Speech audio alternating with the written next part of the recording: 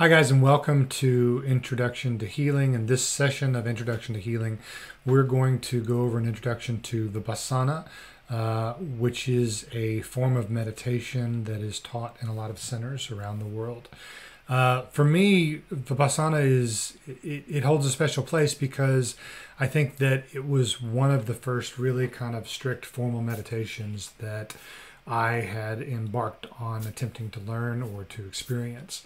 Um, as I tell you my experience, um, I think it's important to be able to share someone's experience. At the same time, I want to kind of put a disclaimer out there uh, from from this aspect that a big part of learning how to meditate in this way is all about observing what is, not paying attention to our story of what is and and and to begin seeing the world the way it is and accepting it the way it is as opposed to the way that we would want it. So when i tell the story it, it it's not meant to flavor uh, your perception of vipassana in a way that says look this is what you can expect. But i do think my story can be very helpful in in demonstrating or at least you know uh, presenting it in such a way that it can help describe some of the mechanisms that are kind of occurring as you embark on this type of meditative journey.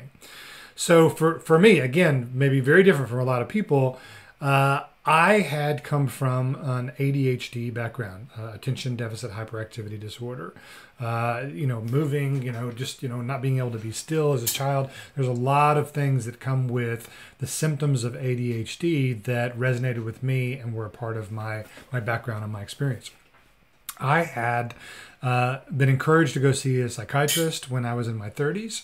And I think within 15 minutes of questioning, he decided that I was, you know, a poster child for ADHD, and he had me on a, uh, a prescription of Adderall XR. And I think that I began with maybe 20 milligrams or 10, 10 or 20 milligrams, and that ended up going up to 30, and that went up to 40. And, you know, I, I think that my wife, bless her heart, you know, the fact that she stayed with me during that time period, like my experience of being on that type of upper medication and my my understanding of ADHD has evolved over time. Um, oh my God, I was I, I I had to be really difficult because uh, it, it it was speeding me up in such a way that I didn't have patience with people that you know I thought were slower, even though they they might not have been. You know. So, I mean, it was an interesting time period enough that I was grateful for the experience. But very quickly in my own research, I figured out that it, that the medication was not for me, and I, I ended up taking myself off the medication and crashing for like a week. What I've come to learn since is that there's a comorbidity. In other words, symptoms are the same between what we call ADHD and unprocessed childhood trauma. And in my particular background, I had some unprocessed childhood trauma. And it, it's just interesting to see how that played out, you know, over the years. It's it's enough of a warning that I would say that anybody that says or thinks that they're struggling from ADHD should at least go do some inquiry with trauma work. And you know is it possible for me to to downregulate this to process this in such a way that i don't i don't hold things in the same way and therefore don't have the same reactions you know mentally emotionally and physically? So for for me after i had just been through this medication experience uh, vipassana came up and it was suggested to me by a friend and I was really, really interested in meditation. I'd done a, a lot of different other types of meditation, mostly probably, um, you know, visualization. I had done some kind of out there stuff like Merkaba meditation that had got me really quiet also. It was just really interesting uh, to hear about this and to know that there was a place that was in um, southeast of, of Dallas uh, that I could go to that they didn't even charge any money. Everything was donation based, and I don't think that they would even take a donation from you, and, or still don't, unless you had been through their particular program. And so it, this program had nothing to do with any form of religion. It was just learning a specific technique. So the background that I know of Vipassana, it, it was begun by a gentleman by the name of S.N. Goenka. And S.N. Goenka was an Indian man, businessman that struggled horribly with migraine headaches and he had been to every doctor in the world. Long story short, he was taught meditation and it had such an impact on him that he kind of made it his life mission to that he began helping open these centers that began opening all over the world. So we have one in Kaufman, Texas, you know, just kind of southeast of Dallas. I, I went online and had to apply. You had to answer a bunch of questions, and I got scheduled to go to one. It was in their beginning years, so like they've really built out that place since then. Uh, and I was I was approved to go to go there, and I scheduled it and I showed up. So this is a what's what's known as a ten day silent retreat, and silent means that after a certain moment after the first day, you agree to go into noble silence, which basically means that from that time period until we, you know, come out of the noble silence at the end, you know, towards the end of the program, you agree not to not to talk and not even to make eye contact really with the other participants as well. On top of that, you're going to this location that's very remote. You know, once you cross kind of the, the parking lot, you know, in the office, they they took your cell phone, you were instructed not to read any reading material, any reading material, no digital, you know, help or format, to, you know, at all. Uh, I think you could bring a, you know, a journal. You know, so generally there was a pamphlet about what you were going to experience that you had with you, but other than that, that was it. You know, so towards the first day, towards the end of the day, after kind of an orientation, and the entire program has an uh, an audio that is played periodically giving instruction from uh, S.N. Goenka, who has now passed on, but the but his audios are still used to this day.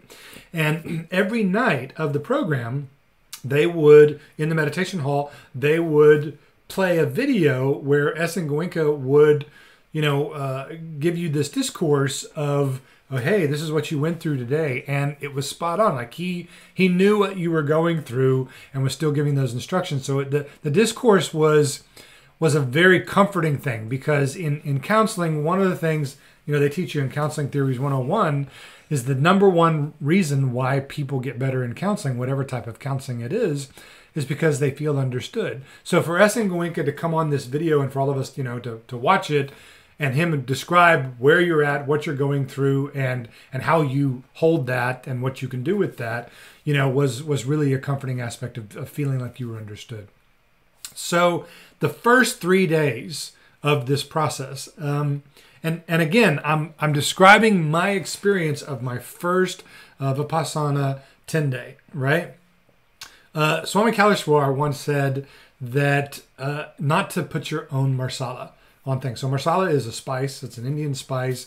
Uh, what that means, not to put your own marsala on things, is to not put your own spin, your own exaggerations in order to entertain people. You know.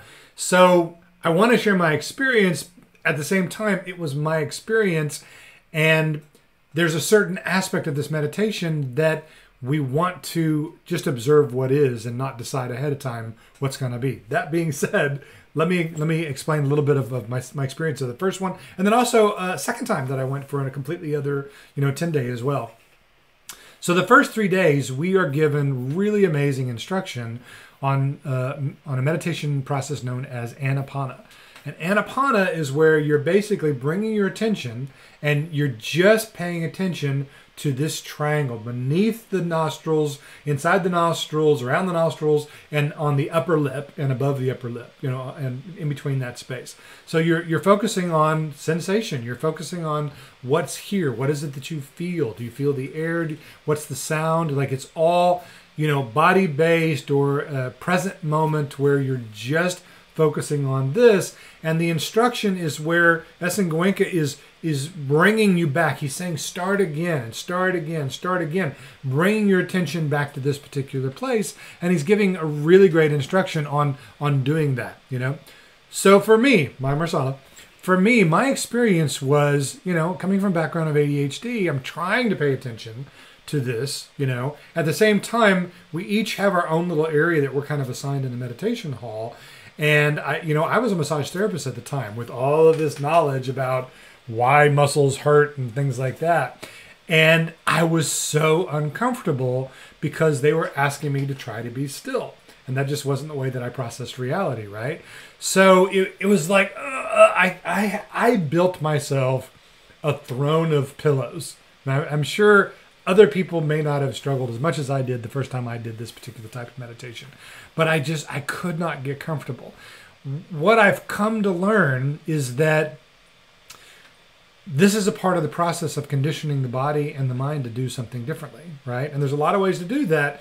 For in, in this way, often when there's an incoherence between the mind and the heart, or the mind and the, the way the body is holding our conditioned story, then the movement can be a way to have a language where we can process something, one of many different languages. So when we attempt to, to be still, there's there's things that are going to come up that we have to deal with, and they're going to manifest in the body in very specific ways. And so three days of Anapana, where you know we start off with short meditations. We're giving a lot of rest. I had amazing sleep, you know, that I probably never get while I was there. And and so for three days, you're asked to keep bringing your, your attention back to just this one space. So you begin not paying attention to other things because you're you're conditioning your mind to focus on just this right here. Now for me that was difficult. The first day, focus this, focus this, my mind wandered. It was gone for maybe 20 minutes or so, and then I uh, bring it back, bring it back. That will get the instruction, bring it back. Then it wandered again, 20 minutes, and I did this, you know, all day. It was very in and probably more in the story about how uncomfortable I was than the ability to actually pay attention.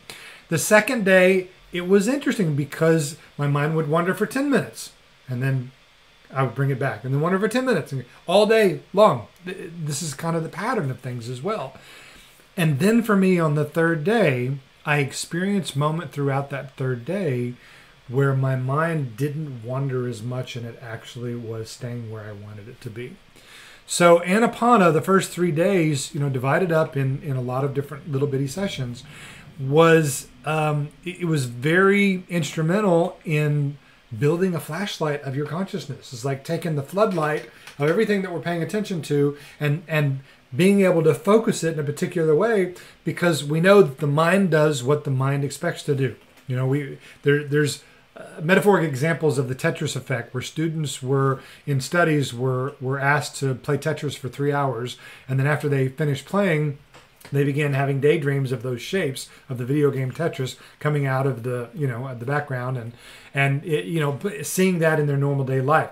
The brain is going to do what the brain expects to do. This is the purpose of having an ongoing practice, no matter what it is, is because it conditions the mind. And specifically, what we're doing is we're coming out of the story into the present moment, out of the story, and we're we're just observing what is. And by paying attention to sensation, sensation is happening when it's always happening in the now. So sensation is something that we can pay attention to that's always going to be in the now right? That's why it's such a great thing. Body-based aspects are going to are going to take us out of an abstract story unless unless we want to add that to what we're feeling in the now as well.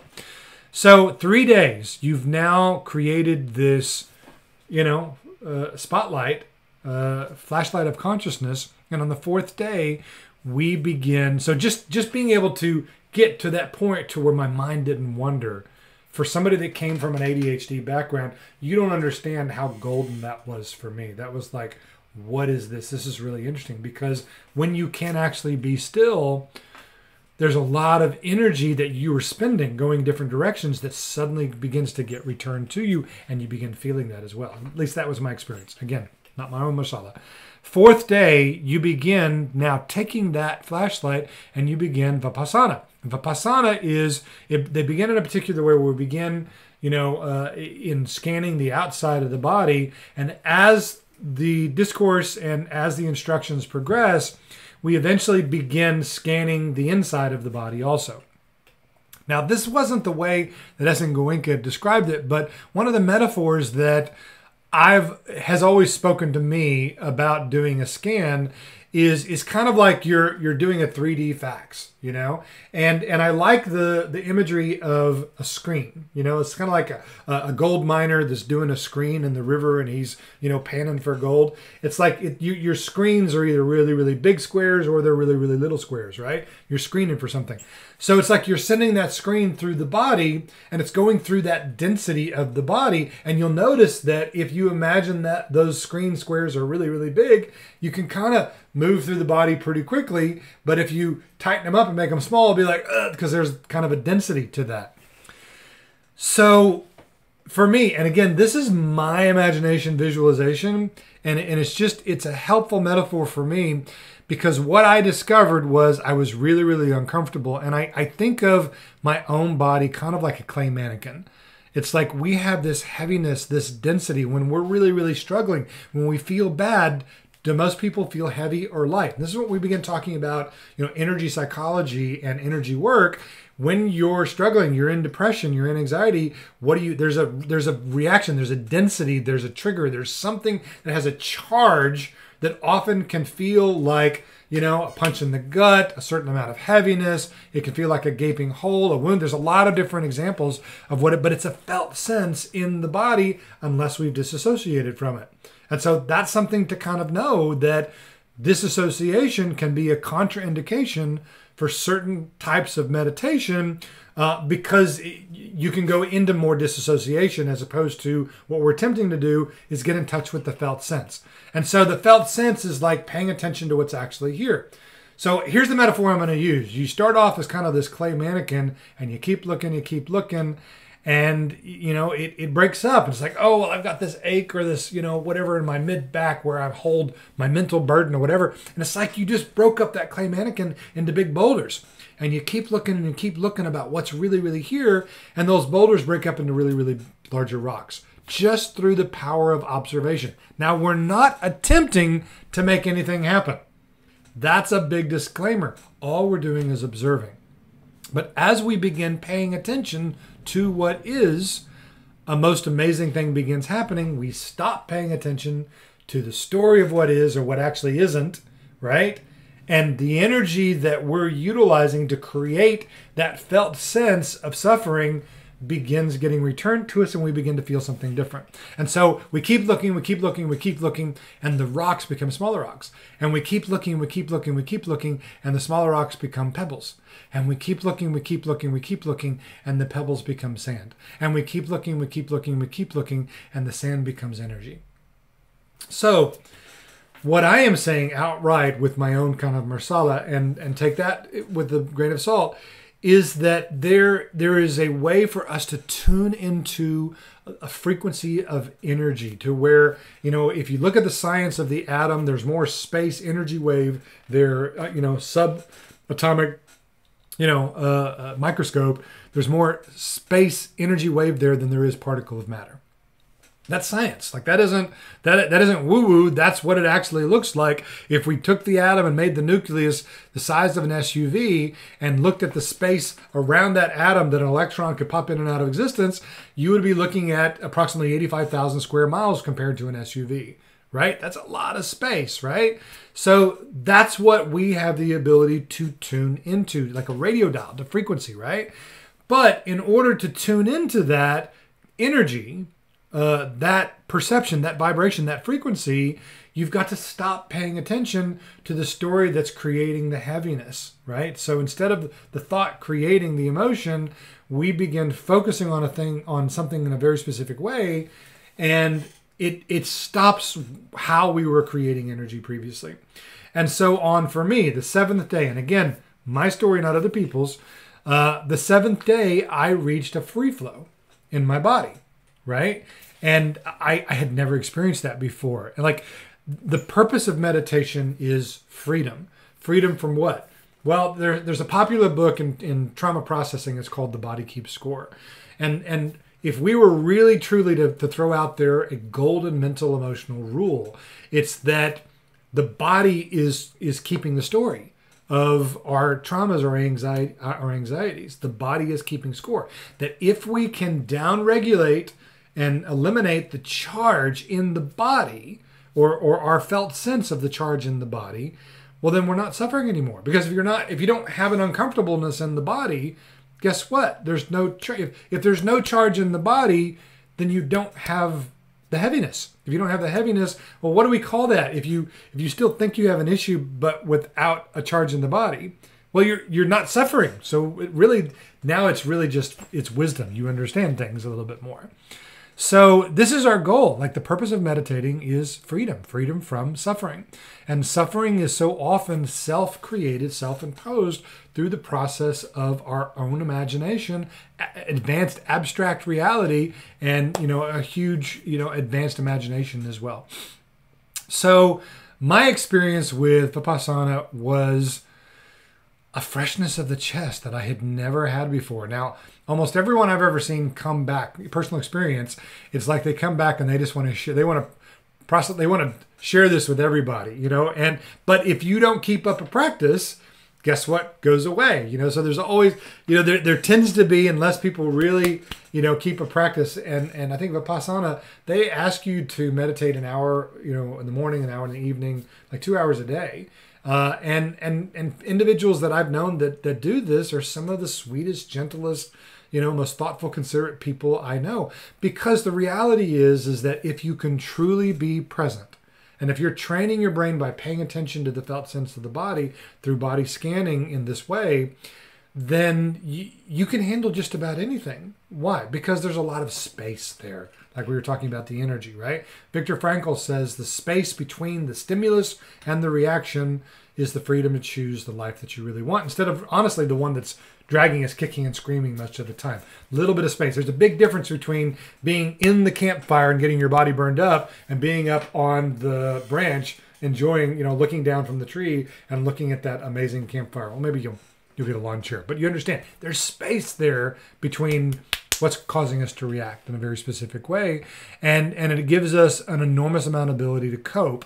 Uh, and and that's why presence and practicing presence is the the first pillar of a lot of my coaching whether it's it's pointing to vipassana whether it's practicing mindfulness whether it's mantra meditation whatever you know quantum meditation dr joe whatever type of meditation it is this is the purpose for it is to create space and to basically give us more room so that we can we can catch things and we can we can kind of melt our suffering.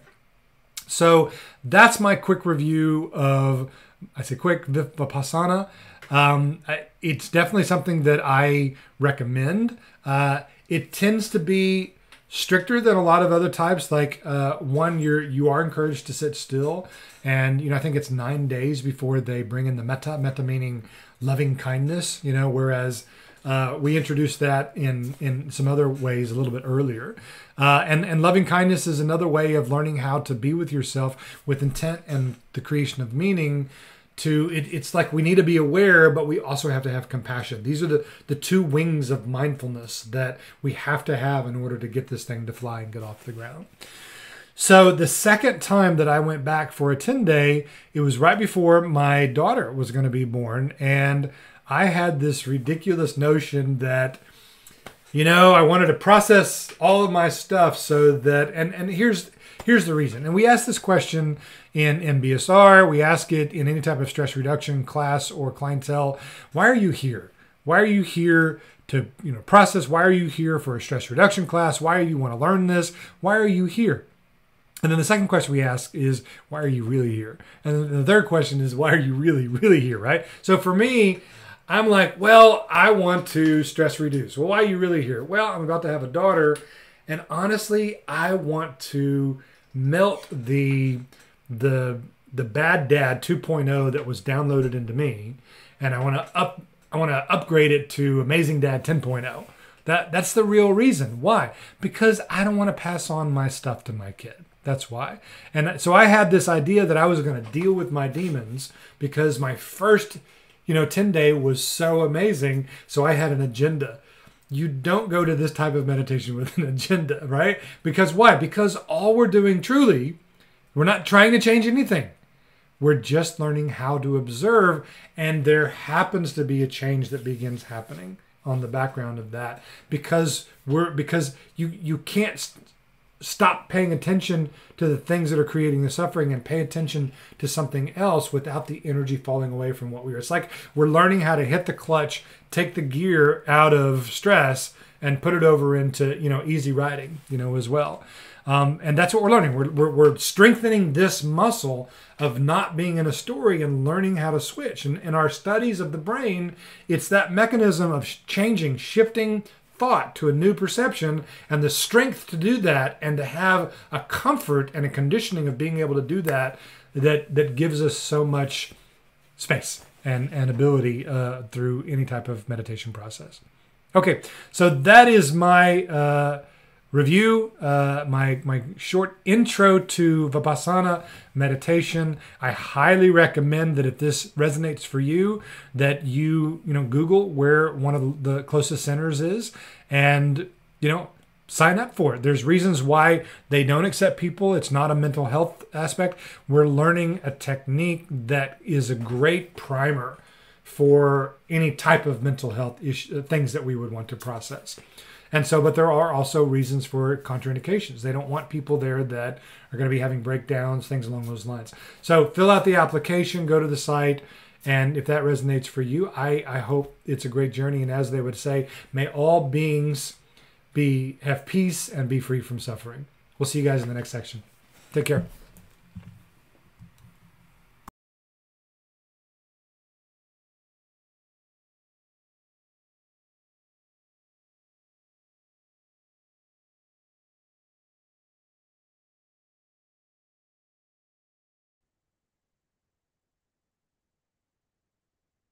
Hey guys, real quick, uh, I'm going to share this screen so that you can see. So if you, if this did resonate with you and you are interested in, uh, if you do a search, and I don't know wherever you're at, but if you're like, for example, uh, Southwest Vipassana uh, Meditation Center is the one in Kaufman. Do a Google search for those terms, and it'll bring up this site right here, uh, Dhammasiri and on this course, like they they got a 17 minute video of S.N. Goenka, or 19 minute, I'm sorry, uh, provides a short explanation of the technique of Vipassana meditation. Uh, this is the, I think, address uh, 10850 County Road in Kaufman. Uh, and they have an application attending the course, a course checklist. All that information is right here on this particular page. If you're not in the Dallas area, I'm sure that wherever your area is, they probably somewhere on here. If you look, they'll have a uh, uh, a list of where other resources. Well, there it is, worldwide locations. So this again would be a great place to start, and it'll show you kind of how to proceed. So, namaste. Take care, guys.